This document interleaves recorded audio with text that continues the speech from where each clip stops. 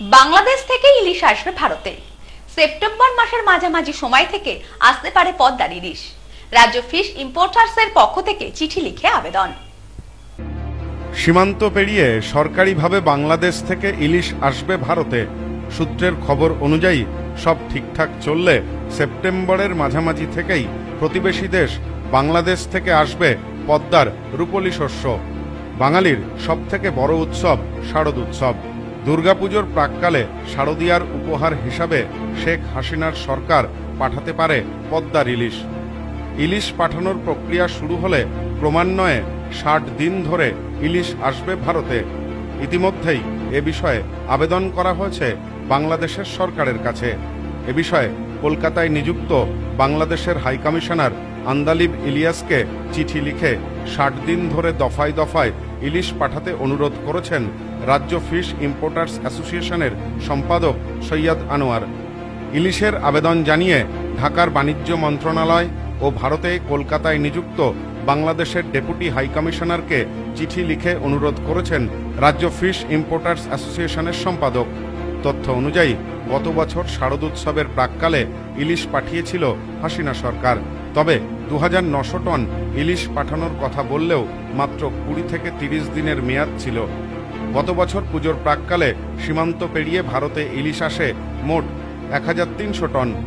সে কথা মাথায় রেখে এবছর ষাট দিন ধরে মাছ পাঠানোর প্রক্রিয়া চালানোর অনুরোধ করা হয়েছে বলে জানা যাচ্ছে। বাংলাদেশের পদ্মার ইলিশের চাহিদা বরাবরই এপারে বেশি। তথ্য বলছে একটা সময় ছিল যখন ইলিশের মরশুমের শুরু থেকেই উত্তর চব্বিশ পরগনার ভারত বাংলাদেশ সীমান্তের পেট্রাপোল বন্দর দিয়ে সরকারি নিয়ম মেনে ট্রাক বোঝাই করে ইলিশ আসত ভারতে।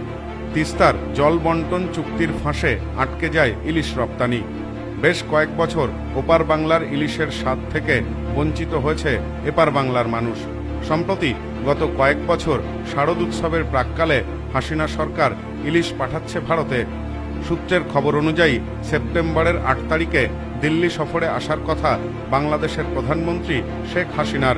বাংলাদেশের বিদেশ সচিব মাহমুদ বিন মোমেন রবিবার ঢাকায় জানিয়েছেন, দিল্লি সফরে এসে ভারতের সাথে তিস্তার জল বন্টনের বিষয় নিয়ে ভারত সরকারের সাথে কথা বলবেন প্রধানমন্ত্রী হাসিনা। এই বৈঠক ফলপ্রসূ হলে ইলিশ রপ্তানিতে গতি আসবে বলে মনে করছে অভিজ্ঞ মহল। অপরদিকে নামখানা, ডায়মন্ড হারবার প্রভৃতি এলাকায় ইলিশ শিকারে গিয়ে কার্যত হতাশ হয়ে ফিরছেন মৎস্যজীবীরা।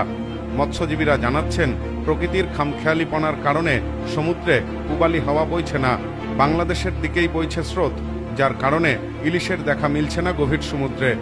গত কয়েকদিনে প্রায় শূন্য হাতেই ফিরেছেন মৎস্যজীবীরা, তবে মৎস্যজীবীদের মতে এখনও সময় আছে, আবহাওয়ার বদল হলে মাছের দেখা মিলতে পারে। এই পরিস্থিতিতে দাঁড়িয়ে বাংলাদেশ থেকে ইলিশ রপ্তানির খবরে খুশি ভোজন রসিক বাঙালি। Bureau report, news no man's land Kolkata. বাজেটের মধ্যে আপনার পছন্দের গহনা কিনতে আজই আসুন।